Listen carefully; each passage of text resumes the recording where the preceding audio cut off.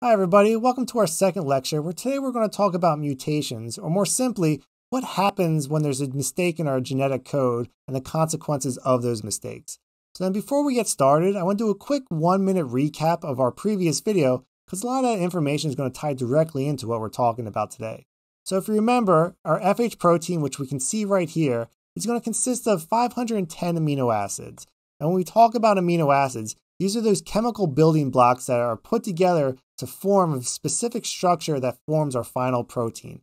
And so it's going to be the precise order of those amino acids that determine whether or not our protein functions the way it's intended. And so when it comes to protein function, the shape of the protein is going to be integral to whether or not it's able to do its job, which means that if you have a misshapen protein, you're going to have a dysfunctional protein, which is going to lead to a pathological state. And so a mutation then is going to be simply a change to our genetic code. And you can imagine if you change one of these nucleotides, you've changed the codon. If you change the codon, you change the amino acid that's supposed to go in the correct place. If you change the amino acid, you change the structure of the protein. And when you change the structure of the protein, you can cause it to become dysfunctional. And this is what's going to happen in HLRCC. And so there's going to be two broad categories of mutations that we can talk about. The first one being a germline mutation, or when you have a change in the genetic material found in either the sperm or the egg cell. And what's important about these mutations in these germ cells is they can pass that mutation on to children, which means that you'll see this mutation being passed on from generation to generation all through the family tree. And this is predominantly the type of mutation that causes HLRCC. The H stands for hereditary, meaning we're going to inherit from either one of our parents. In the case of HLRCC, this is going to be a 50-50 probability of inheriting it from a parent. And we'll see in the next lecture what makes it 50-50. The other type of mutation then is going to be what's known as a somatic mutation. And what this means is it's a mutation in any other cell in the body that isn't a sperm and an egg. And what that means is you can't pass somatic mutations on to your offspring, but they can affect your body once they're there. And so then we can acquire somatic mutations anytime after conception, all throughout your life. And obviously, then germline mutations are important for HLRCC, but these somatic mutations are also going to be important because they're going to be what eventually can cause tumors, whether they're leiomyomas or renal cell carcinoma, because it's going to be this double hit, is what we call it when you have your germline mutation or your inherited mutation, and then this secondary somatic mutation occurring in the same cell. And once that happens in one cell, it leads it on a pathway to uh, turn into a cancerous or malignant cell. So then to get a better idea of how these mistakes in the genetic code can cause issues in the resulting protein, here I've made up my own genetic sequence. And when we break this up into the individual codons, we can see which amino acids they code for. So if you remember GAG, GAG is going to code for E or glutamine. Then we'll go down the line in our sequence of amino acids. And to get a better idea of what this job of this made up protein is going to be, this protein's job is going to be to eat the pie, or we'll say the active site on this protein is going to be to eat the pie. So then we can see how different mutations can affect the resulting action of this protein. So one type of mutation then is going to be what's called a point mutation, or when you have a change to just one nucleotide in this genetic sequence. And there's going to be different types of point mutations. The first one we'll look at is going to be a silent mutation. And this is when the change in nucleotides is going to code for the exact same amino acid, meaning there's not going to be any change to the resulting protein or amino acid sequence. So here we can see we've changed ACG to ACA. And when we look at our cipher down here, ACG and ACA, they're going to code for the same exact amino acid threonine. And so when this protein's made, it's still going to say eat the pie. So we can still make sense of what the job of this protein is going to be and so we're not going to have any dysfunction or pathology associated with these silent mutations. A lot of times you'll also see them called synonymous mutations, meaning they code for the synonymous amino acid. And so if you got a genetic report, the way you would write out this mutation, you'd first specify which exon this is found on. So in this case, we're on exon 10. This C period means that it's on the coding sequence of the DNA, and the coding sequence is going to be the one used to make amino acids. And then this number here is in reference to which number nucleotide it is. So if you remember, the FH gene had 1,530 nucleotides. So this mutation occurred at nucleotide 1,445, and we've changed the guanine to an adenine. So this greater sign uh, means to change from guanine to adenine. A second type of point mutation is going to be what's known as a missense mutation. And this is going to be when you have a substitution to a nucleotide that does cause a change in the amino acid that's put in its place. And there's going to be two types of missense mutations. Sometimes it's not going to cause a big issue, and this is what's known as a conservative change. It means you're going to put a very similar type of amino acid in place of the one you've uh, changed. And if you remember that chart of amino acids I showed, some amino acids are very chemically similar to other ones, like they might be both positively charged. And so when you replace one with the other, it's not going to have drastic changes to the resulting protein. So an example of a conservative change would be here if we went from GCA to GAA, we've changed this alanine to another glutamine, but you'll notice we can still make sense of the job of this protein. It still says eat the pie. It's not spelled the correct way. It's not put together the exact way it should be, but it hasn't been changed enough for us to not know what it's supposed to do. So this would be an example of a conservative change. The amino acid is close enough to the original one where the entire structure isn't drastically different and it can still do its job. However, sometimes you're going to have significant changes, and these are what are known as non conservative changes, where the mutation leads to a very different structure, and it's very likely that this is going to result in a pathological uh, situation. So the example here is instead of GAA in this last codon, we change that to AAA. Then instead of saying eat the pie, it's going to say eat the pick. So one, this protein is not going to do what it's designed to do. It's going to not eat the pie like it's designed to. It's going to go around and eat picks, and eating picks is going to be dangerous and it's going to cause all these issues. And this is how you get pathology. So we can see how just this one little change, depending on where it occurs, can either be drastic or not drastic. So in this case, non-conservative missense mutations are going to lead to pathology. The third type of point mutation you can have is what's known as a nonsense mutation, and this is when we put a premature translational stop signal where it doesn't belong. If you remember, at the end of every nucleotide sequence, we're going to have that stop codon that lets the cell know that we've finished our amino acid sequence and we can complete our protein. So what happens with these nonsense mutations is we're going to put a premature stop signal where it doesn't belong or before we're finished putting the entire protein together. So here we've went from GAA to UAA. And when we look at UAA, we have our stop signal here. And what's going to happen is we're going to stop making this protein halfway before we've assembled all the amino acids together. The way you're going to see nonsense mutations written on a genetic report, again, you have exon 10 in the coding sequence.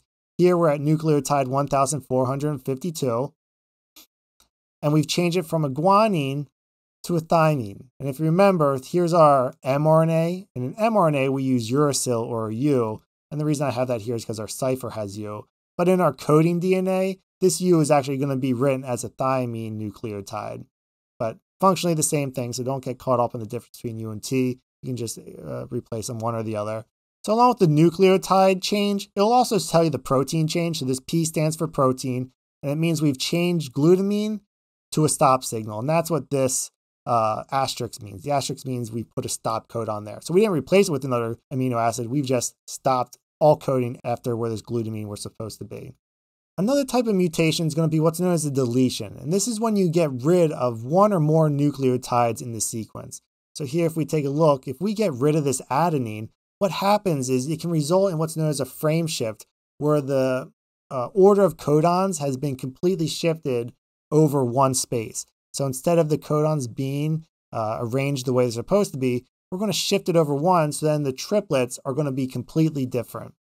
And so if you have a deletion, uh, the way it's going to be written on your genetic report, same as before, it'll specify the nucleotide and the exon it's on, but it's going to have DEL and which nucleotide was deleted. In this case, we deleted adenine at space 1443. So then we can see what we mean by frame shift is when we look at the new sequence of codons and the amino acids they code for, it completely jumbles the amino acid sequence. So instead of saying eat the pie, it now says ear, hint, lizard. So it makes no sense whatsoever. And this means it's going to almost certainly be pathogenic because it makes absolutely no sense. The structure is going to be completely all over the place. So frame shifts are very detrimental to the final protein product. Um, the caveat to this being if you were to have a deletion uh, in multiples of three, so if you deleted, say, instead of just A, you deleted ACG, the codons would still stay the same. You wouldn't shift them over. You would just lose this amino acid here. So whether or not that would be enough to cause a pathological condition uh, depends on the specific port of the amino acid that's being lost. Along with deletions, then we can also have the opposite where we insert an extra nucleotide, but this is going to cause the same issue because we're still going to cause a shift in the reading frame itself. So here, if we add an adenine here, we're going to cause a shift in all the codons downstream from that adenine. So then the way an insertion is going to be written on your genetic report, it's going to specify which nucleotide was inserted. So INS means insertion. Here we're putting an adenine between nucleotides 1455 and 1456. So right here is where we've inserted our adenine. So then when we look at the resulting codon frame shift, again, you can see everything after it is not going to make sense because it wasn't in a multiple three. So we completely jumbled the code again. And again, this is going to likely be pathogenic. There are instances in which you can completely reverse the certain portion of the genetic code, and this is what's known as an inversion, where you reverse the order of nucleotides in a particular sequence of the code. So here we've reversed it, and now you can see the resulting amino acid says tatahe, the pi. Doesn't make any sense, so likely pathogenic. So inversion on your genetic report, it'll specify again inversion, and it'll say which part of the sequence has been inverted. So all the way from nucleotides 1437 to 1048 have been completely reversed. Another type of mutation then is going to be a duplication where one or more nucleotides is going to be copied and repeating next to the original sequence. So in this example, we'll duplicate this GAA. And because it's a multiple of three, it's not going to cause a frame shift or anything, but we are going to add another amino acid glutamate here. So in this case, it might not be pathogenic because we can still make sense of our sequence. But if you were to duplicate um, something that wasn't a multiple three, you would have a frame shift and it would very likely be pathogenic. So if you were to have a duplication on your genetic report, you would have DUP for duplication, and then it would specify which part of the nucleotide sequence was uh, duplicated. In this case, nucleotides 1452 to 1454. So all the mutations we just looked at were mutations in the exons or that final coding sequence of that messenger RNA. However, if you remember, we had a lot of junk DNA in our immature RNA that we had to cut out to put together those final 10 exons. And what happens is if you have a mutation in certain parts of the introns, the cell's not going to know the correct areas to splice. So a quick review of how we splice correctly is we want the correct splicing zones in this area here. And the way the cell knows where to splice is what's known as the GU-AG rule where wherever the cell sees a GU and an AG and some upstream nucleotides to kind of signal exactly where they are, um, this is going to tell certain proteins called spliceosomes where to cut precisely to get the correct exons in that final coding sequence. And so then what that looks like is when we make our correct splices, the spliceosome comes over, it's going to cut out the intron we don't need, and then it's going to add those exons together to form that final mRNA. And this is the way it's supposed to work. However, if you have a mutation in some of these critical introns, it's going to result in incorrect splicing. And what happens then is it can either lead to a loss of an exon or it can lead to the inclusion of introns. And when you add more code than necessary, that's obviously going to mess up the final protein product as well. So, for instance, if we change this guanine to an adenine, um, we're not going to know where to splice possibly. So, if you were to have an intron mutation on your genetic report, um, it's a little bit more complicated to read. So in this case, because we're closer to exon 2, we're going to use this as if this is nucleotide 166, this is nucleotide 165. We're going to say the intron mutation occurred 13 nucleotides prior to the 166. So 1, 2, 3, 4, 5, 6, all the way to 13. So negative 13, we're specifying this part of the intron. So if you had an intron mutation that said positive, for instance, say this as positive 6, it's going to be in reference to the exon in front of it. So instead of 166, this would say 165. And plus 6 would be 1, 2, 3, 4, 5, 6. It would be referencing this nucleotide if you had a mutation with a positive number. So then we can look at a more generalized example of how all of this comes together. So here we have like zoomed out look of our immature RNA. We have those GUAG sequences. And so the way this is going to work is we're going to splice precisely at the right locations of those GUAG sites. We're going to cut out those introns and splice together our exons. And this is a correct way of making our final coding sequence. So this is how it should work. However, you can see if we had a mutation in this one AG acceptor site, the spliceosome is going to skip over this and look for the next AG splicing site. And so what that's going to mean, we're going to cut out this entire area. And along with cutting out our introns, we're also going to mistakenly cut out exon 2 and then splice exon 1 and exon 3 together. And so this means we've mistakenly taken out an entire exon and now our protein isn't going to be put together correctly because we're going to be missing a whole part of our coding sequence because of that one mutation in the intron. Another thing that can happen with introns is if we accidentally put an acceptor site too early or too upstream in our intron, and it's going to cause a splice too early on. And then when we splice out that um, intron, we're still going to leave half of intron 1 in there and so we've mistakenly included half of intron 1 in our final coding sequence, and that's going to add amino acids that are unnecessary and cause dysfunction. If we were having mutation in, say, our second donor site, so instead of GU, we have GC here, we're going to skip over this splice site, and we're going to look for the next GU site, which would be down here. And so we're not going to cut any of this out which means we're going to leave intron 2 in our final product. So here we've successfully cut out intron 1, but we didn't know to cut out intron 2, and that's being left in our final coding sequence, which is obviously not good. Lastly, you can have mutations at the very ends of your RNA. These are what are known as the UTR sections. UTR just stands for untranslated region, which means that you're going to have some nucleotides here, but they don't code for any amino acids. But these UTR sections are going to be necessary to stabilize the RNA. They're going to make sure the cell doesn't break down the RNA prematurely. They're also going to be kind of binding sites for ribosomes, so the ribosome knows where to start um, in its process of translating. And so, if you would have mutations in these UTRs, it could possibly cause loss of function in the protein, meaning if the ribosome doesn't know where to bind, it can't make the protein at all, or it can decrease the rate of translation. So instead of, you know, making 100 proteins per second, you're only making 10 proteins per second. You're going to have a deficient amount of proteins in the cell. And lastly, then you can have what's known as a total gene deletion, where you are missing a complete section of the chromosome. And this is what's known as a microdeletion, where a small section of the chromosome just gets completely removed. So here, if you remember, FH gene is on chromosome 1 at band 43 on the Q arm. And so with microdeletion, we'll just completely get rid of that section of the chromosome. And so, what classifies something as a microdeletion is if you're missing less than 5 million nucleotides in that region. Now, that might seem like a lot of nucleotides, and it is, but all told, chromosome 1 has about 240 million nucleotides. So, 5 million is why they call it a microdeletion, even though it has significant repercussions. And what this also means then is that multiple genes are going to be lost. It's not just the FH gene that's disappearing. You're going to have genes above and below it also um, that are going to be missing as well. So there'll be other issues possibly associated with these total gene deletions.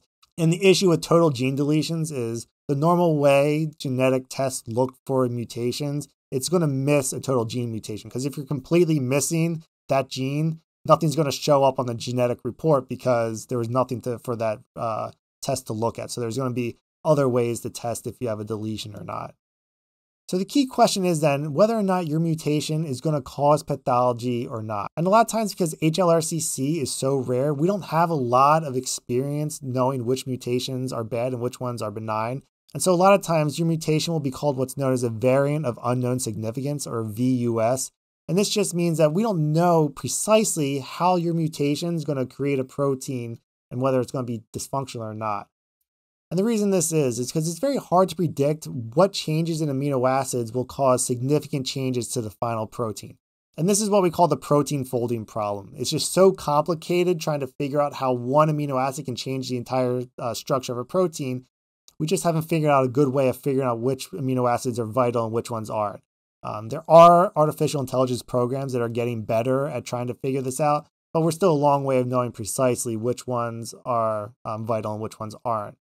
And so, what you need to do then is you need to look at all the databases of known cases of HLRCC and seeing how those patients have fared. And so, when you have a VUS, it means there's no uh, previous patients in the databases that share your exact mutation. So that means that we're unable to say with certainty whether or not your mutation is going to be pathogenic or benign, but you can compare it to other closely related mutations, maybe like the mutation on the amino acid right before it or right behind it, and we'll get a we'll be able to take a better guess then on how your mutation will compare to them. And so if you're curious about what all these databases look like and all the known HLRCC cases and resulting variants in their genetic code, you can take a look at these different links I've posted underneath the video. So here, if we look at this Ensembl one, you can see all these highlighted regions and all the exons show all the different types of mutations. Another one is going to be this GNOME AD one.